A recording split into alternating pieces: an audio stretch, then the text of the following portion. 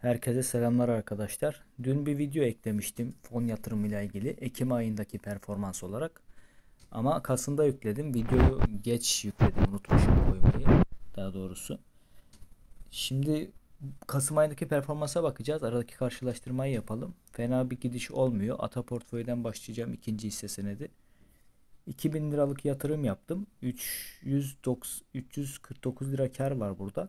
İlk önce 1000 lira koymuştum. Sonra 500 daha ekledim 1500 sonra 2000 yaptım. Ee, 2000 yapalı bir ay oluyor galiba. Geçen ay eklemiştim son 500 lirayı.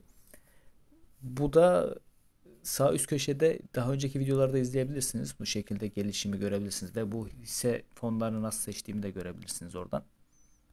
Tacirler yatırımda 208 lira kar görünüyor arkadaşlar. Tacirler portföy değişken fon.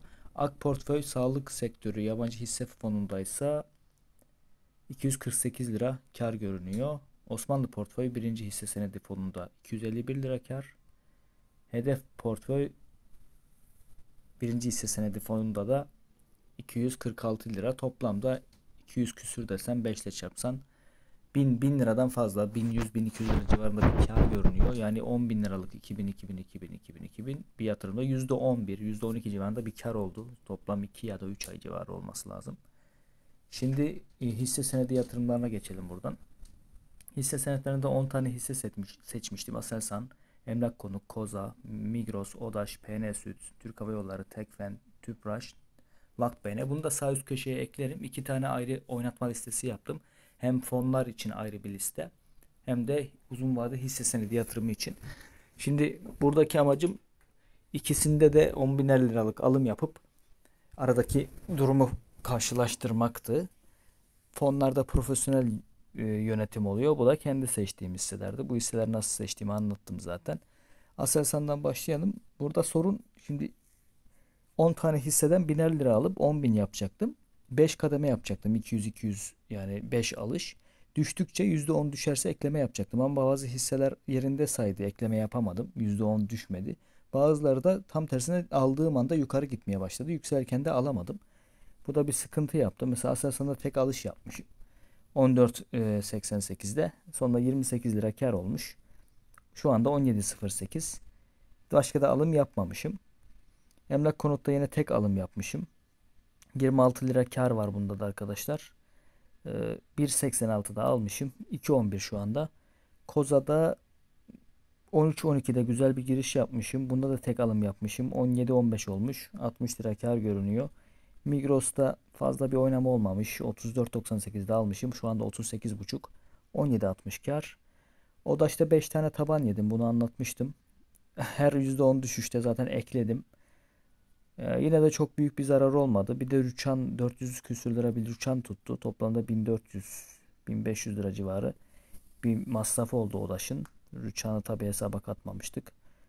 100, 191 lira zarar görünüyor Odaş'ta. Bunda başka bir alım yapmıyorum zaten. Sisteme göre devam ediyor. PN Süt'te 3 alım yapmışım. 527 lira şu anda. 52 lirası zarar. Bu da bayağı düşmüştü. Yine de e, düştükçe ekleme yapınca bayağı bir faydası oluyor arkadaşlar. Onu da söyleyeyim sana.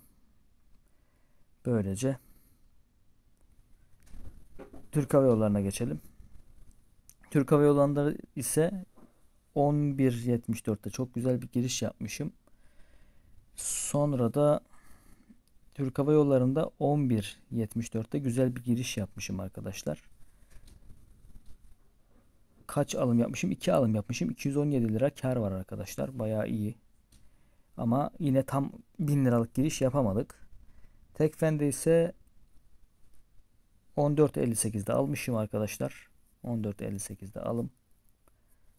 Ondan sonra 15.93'ü görmüş. 17 lira. Çok bir oynama olmamış. Temda bunda da tek alım yapmışım 200 lira. Tüpraş çok kötü oldu. Bunda da 2 lot aldım 90 liradan. Yani maliyet çok iyi. 157.90 olmuş. 134 lira kar var ama 100 lirayken 110 lirayken de konuşmuştuk. Ama ekleme yapamadım. Öyle kaldı. Şu anda durumu bu. Vakbe'ne 3.48'den girmişim. 3.77. Bunda çok oynama olmamış. Bunda 2 alım yapmışım. galiba zararı kurtarmışım. Yani düşüşte eklemişim. 2 alım yaptıysam %10 düşmüş demek ki. Demek ki aşağıdan almak bazen fayda sağlıyor. Ortalamayı düşürüp kâra geçmiş bu da. Durum bu. Şimdi e, şöyle bir fikir oluştu kafamda. Fonlarda başta bir önceki videoya bakarsanız başta bazıları zarar olmasına rağmen ikinci ayda bayağı hızlı bir yükseliş oldu. Uzun vadede zaten 7 kat da 3 kat arasında bir gitme vardı bir senede bunlarda. Gerçi pandemi dibine denk geldi ama yani onunla da tek seneyle de kıyaslanamaz.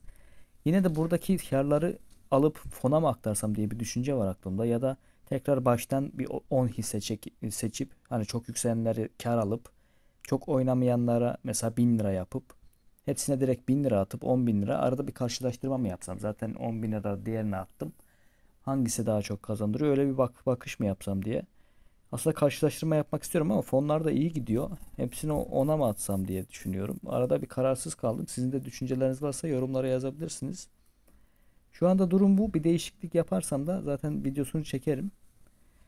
Ee, arama da geliyor. Videosunu çekerim arkadaşlar. Sonra duruma göre bakacağız arkadaşlar. Ee, görüşürüz. Videonun açıklama kısmında sosyal medya hesaplarım var. Oradan da takip ederseniz sevinirim.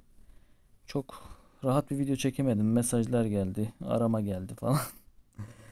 Ee, Facebook, Instagram, Twitter, Telegram oradan da takip edebilirsiniz. Linkleri, linkleri açıklama kısmında videonun.